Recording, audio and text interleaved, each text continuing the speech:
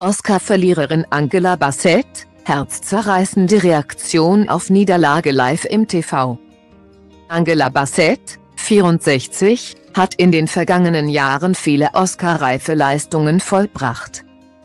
1994 wurde sie für ihre Rolle in Tina, Václav Gotodovid It, als beste Hauptdarstellerin und 2023 für ihre Rolle in Black Panther, Wakanda Forever als beste Nebendarstellerin nominiert. Doch beide Male ging sie leer aus. 2023 ging der Preis an ihre Kollegin Jamie Lee Curtis, 64.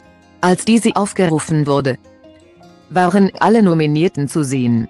Während alle applaudierten, war Bassett die pure Enttäuschung anzusehen.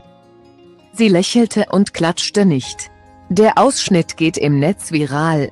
Die Aufnahme und wie Fans auf ihre ehrliche Reaktion reagieren, zeigen wir im Video. Verwendete Quelle, Twitter.com, Independent Cook